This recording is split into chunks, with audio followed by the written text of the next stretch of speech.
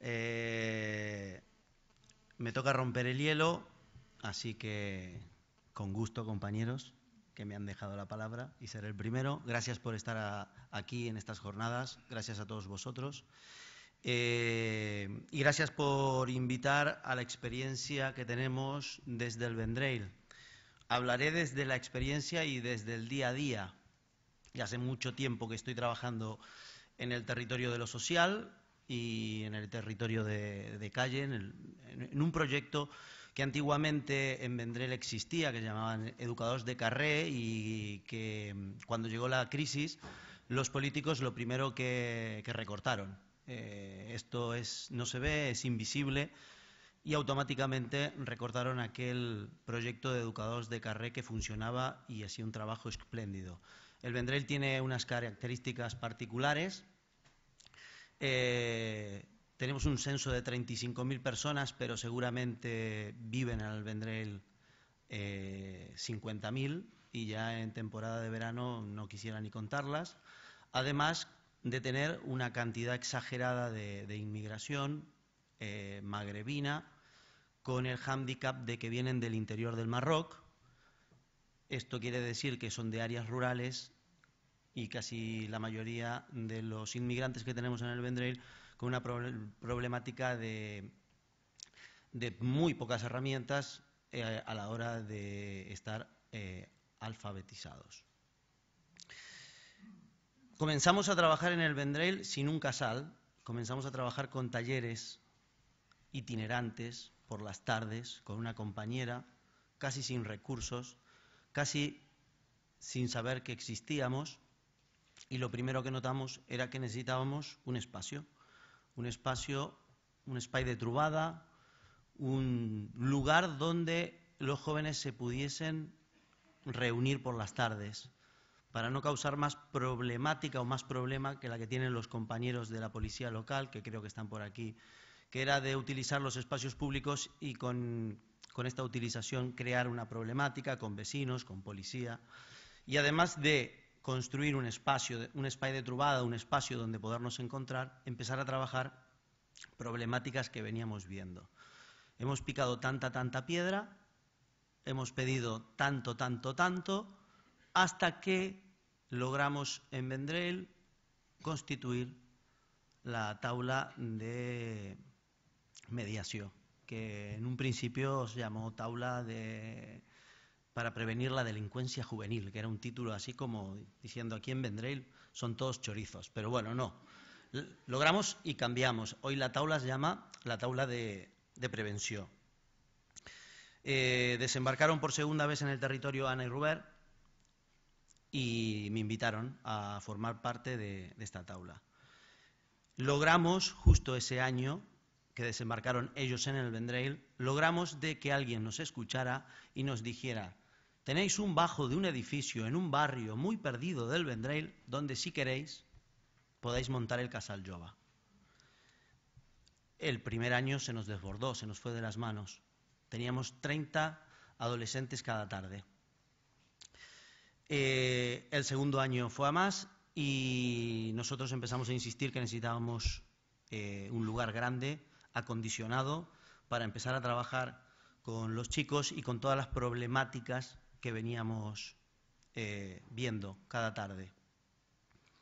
El trabajo en Yarja, este tan predicado trabajo en Yarja, y la transversalidad de las áreas muchas veces en los municipios eh, está bastante, bastante, bastante escondido o no existe. En Vendrell pasaba lo mismo. Todos nos ponemos medallas, pero yo al de al lado lo llamo cuando lo necesito y que no me toque en mi huerta, porque en mi huerta solo mando yo. Esto en Vendrell pasa, como en muchos municipios de, Cataluña, pero a través del trabajo de la taula hemos podido conocer otros técnicos que teníamos afinidad, que nunca habíamos tenido la posibilidad de, casi conocernos las caras o qué hacía aquel técnico, qué hacía yo. Y así surge el casal que tenemos hoy. Los técnicos de educación nos ofrecieron un sitio que iba a quedar vacío, nueve aulas, una antigua escuela de música, está insonorizada. Cuando nos dijeron venir a ver este sitio, a mí se me pusieron los ojos como, como estrellitas. Digo, este es el casal que alguna vez hubiésemos querido, en el centro de la vila, todo el mundo sabe dónde está. Y hoy, como hacemos calendario escolar, hoy 21, esta tarde haremos la cloenda, hoy cerraremos la cuarta temporada. Tenemos una mediana de 60 adolescentes por tarde. Hemos tenido esta temporada un día 90. Ese día, bueno, salimos del casal con la cabeza así, pero felices. El casal está abierto a todo el mundo, pero evidentemente trabajamos desde la basán, desde la vertiente social. Y la utilidad que más, quien más hace utilidad del casal son los jóvenes sin recursos, aquellos que no tienen actividades normalizadas o que no pueden acceder a todos, a todas las actividades o a todos los servicios que tiene el municipio. Por eso mismo, el 80% de los usuarios del Casal son de origen magrebí. Este año estamos muy contentos porque tenemos un montón de nenas, magrebinas ellas y muy cañeras. Es más, son de las que les ponen las pilas a los, a los chicos y esto es, es fundamental. ¿Por qué hago toda esta introducción? Porque el día a día, ya son siete años de programa, son cuatro años de casal, uno va mm, notando, percibiendo, eh, detectando historias que pasan cada tarde en el casal. Antes el profesor Ubieto decía que la crueldad es condición humana pues los adolescentes son puñeteramente crueles. Además, mm, hemos notado eh, en los últimos ocho años que el trato va a peor, el trato entre iguales. Ya no es el Moja, el Samir, el Dani, el Kilian. Ahora tenemos en el casal al Sardina, al Salchicha al chatarrero, al vagabundo, y claro, esto empieza a, humillar a algunos que no tienen respuesta. Eh, claro, chatarrero es porque su padre junta chatarra. Entonces son historias que vamos detectando cada tarde y que vamos intentando trabajarlas. Intentamos trabajar en el casal la delgada línea fina de la burla y la tontería con la humillación y el acoso. Es una línea fina que ellos no se dan cuenta, lo de el salchicha, el sardina, pero claro, cada día y ya vamos poniendo motes más agresivos. Ya es el vagabundo, porque sus padres nunca viven en un lugar fijo. Entonces, no se dan cuenta sinceramente ellos no se dan cuenta el daño que están provocando en esa persona. Entonces tratamos de trabajar, eh, hacemos mucha pedagogía en, este tema, los dos educadores que trabajamos todas las tardes en el casal. Es una delgada línea que cuando se traspasa comienza a hacer daño. Eh, todos los jueves en el casal tenemos la suerte de tener una técnica de salud. Una técnica de salud que viene hace muchísimo tiempo trabajando en el equipo de juventud con nosotros, que aparte hacemos todo el tipo de charradas en los institutos con la técnica y que hemos empezado a ver que esta delgada línea roja de la burla cada vez era más humillación. Entonces, también hablando en las subcomisiones que tenemos en la, en la tabla de prevención, cuando se comenzó a idear el nuevo protocolo de absentismo, que aquí está la técnica, está Rosario, está con los compañeros de la policía local, ellos también detectaron que muchos chicos no iban al instituto porque había grupos dentro del instituto o dentro de su mismo curso que se metían con ellos. Entonces era más fácil no ir a clase para no soportar esta, esta vejación o este acoso que ir al instituto y enfrentarse a esta realidad. De esas conversaciones y de eso que fuimos detectando nosotros cada tarde en el casal y lo que fue percibiendo a la hora de ir montando el nuevo, el nuevo protocolo que tenemos de absentismo en el Vendrell, hemos dicho, ¿por qué no damos un paso más?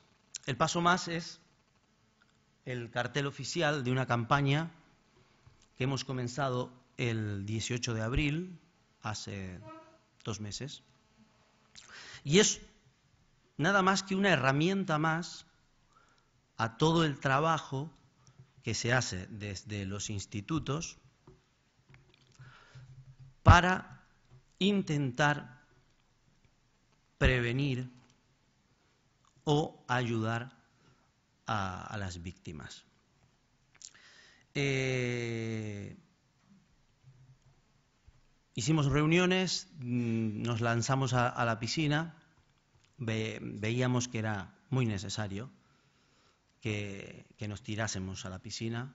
Era un paso más que teníamos que dar, como tantos que fuimos dando en el campo de lo social, pero ahora teníamos que dar un paso más arriesgado. El servicio es un número, como ya veis, un teléfono, es un móvil. Tenemos un, un, mail, un correo electrónico. La técnica que atiende este servicio es la técnica de salud. ¿Por qué la técnica de salud? Porque ya tiene una formación adecuada, pero porque es la que recorre cada año todos los institutos y que conoce a los adolescentes. A muchos ya los conoce. Es una referente del casal y creímos que era la figura que tenía que llevar adelante el servicio. Eh, el Pro Bullying al Vendrell nace de las subcomisiones de la taula de prevención, participa la regiduría de Infancia y Juventud, a la que pertenezco, participa la regiduría de Educación. Al Espai Jove de Salud lo lleva la técnica que pertenece a H2O, que es una asociación de Tarragona y que está muy, muy vinculada a el colectivo LGTB. Tenemos un aporte de la Generalitat hace dos meses que funcionamos y lamentablemente os tengo que decir que los primeros 20 días la línea quemaba. No era lo buscado, no era lo deseado, era una herramienta más que poníamos al servicio, pero no para que fuera una, una línea caliente. Los 20 primeros días hemos tenido muchos, muchos contactos. Básicamente hemos puesto el, el icono del WhatsApp porque los adolescentes, bueno, todos creo que estamos un poco locos por el tema de los WhatsApp, pero los adolescentes más, y el 90% del contacto que tenemos con el, eh, con el survey de Pro Bullying al Vendrell es vía WhatsApp.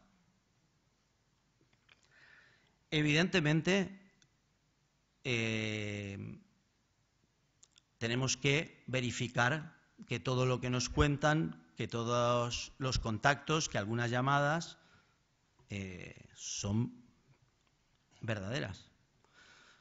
El sistema, primer contacto, la técnica contesta e intentamos hacer un encuentro presencial en el casal los jueves cuando ella está. Evidentemente hemos encontrado de todo, porque cuando uno da el paso de llamar a una línea de estas o enviar un WhatsApp, es porque la mochila ya está muy, muy, muy cargada de, mierda, hablando mal y pronto. Eh, pues hemos encontrado mochilas muy cargadas de historias. Eh, evidentemente también existe la confusión, no todo es bullying, no todo es bullying. Hemos detectado que en casos puntuales de chicas es baja autoestima, autoexclusión, el grupo no me acepta, yo seré la diferente, eh, estoy padeciendo bullying. No todo es bullying, pero sí que luego hemos detectado casos muy pesados. Eh, El survey está dirigido, hemos hecho una campaña, el 18 de abril se puso eh, a disposición de todo el mundo, se estrenó. Este cartel está en todas, en todos los colegios, escuelas primarias del Vendrell, en los institutos, en los centros educativos alternativos, en todos los patronats de sport que tenemos aquí, allí al, al municipio, en los espacios públicos municipales y además hemos hecho una gran campaña a través de los medios de comunicación locales, comarcales y provinciales. La manera de trabajar es contactar con la técnica y hacer un primer encuentro. Evidentemente no tenemos solución, la solución mágica no existe. Trabajamos con el protocolo vigente que da Generalitat, un marco general, pero apostamos a hacer un acompañamiento a la víctima de los pasos que necesite dar o de las recomendaciones e informaciones que la técnica de salud da. Evidentemente todos los pasos que damos son consensuados con la víctima. No imponemos ni, dejamos, ni nos dejamos llevar, ni la técnica se deja llevar y se tira, se tira al río. Evidentemente todos los pasos que damos son consensuados. De todos los casos que hemos tenido en estos dos meses, un solo caso se ha denunciado. Uno solo. El resto son poco a poco, es un trabajo de acompañamiento de lo que quiera la víctima. Trabajamos coordinados, tenemos la tabla de, mediación, en la tabla de mediación intervienen casi todas las áreas del ayuntamiento, además todas las áreas del ayuntamiento que en algún momento trabajan con jóvenes. Además de trabajar con justicia juvenil, porque desde juventud, y es el rol que también me toca, eh, llevamos las medidas de justicia juvenil. Este es otro hándicap. A muchos ya los conocemos, son viejos conocidos de la casa, por otras cuestiones. Y también eh, trabajamos coordinados con la Oficina de Relación a la Comunidad de Policía Local y de Mossos de Escuadra. De los casos detectados, me queda un minutito, solamente se ha denunciado uno. Eh, y el tema, que aquí lo, vamos a, lo voy a relacionar con, con otro tema sobre acoso, es el ciberacoso. El único tema denunciado de nuestro servicio viene por el ciberacoso, redes sociales, Facebook, aquello que los chicos no, no se dan cuenta, que creen que es algo tan normalizado como una red social, como el llamar a su compañera tonta, eres una tonta, eres una estúpida. Eh, esto las 24 horas, esto es lo que nos da o lo que le da al agresor la posibilidad de seguir agrediendo. Las redes sociales dan esa posibilidad y a la víctima de seguir recibiendo durante todo el día casi la molestia o el acoso del agresor.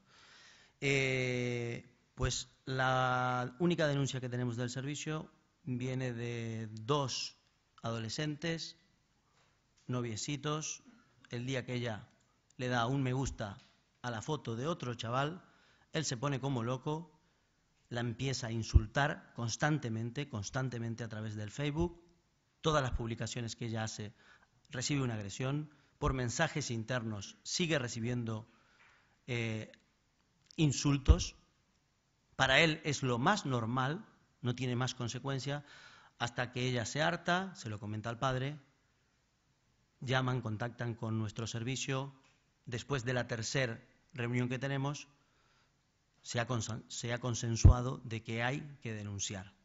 Y es ahí después de la denuncia cuando el adolescente agresor, entre comillas, se da cuenta que sus actos sí tienen consecuencias. Eh, termino. Desde el Casal, desde nuestro proyecto social que tenemos en marcha en Juventud, desde el Vendrell, apostamos por la pedagogía y, y por el diálogo y la palabra, cada tarde, cada tarde. El no me comas la olla, Dani, existe todas las tardes, pero sabemos que algo queda, porque luego es cuando están fuera del grupo, vienen solos, Dani, tengo un problema, o Dani me pasa algo, o Rubén, que es mi compañero, necesito esto. Entonces, eh, para finalizar, eh, el diálogo, la palabra, siempre algo queda, la pedagogía ante todo con los adolescentes y para nosotros es la manera de trabajar en la prevención. Gracias.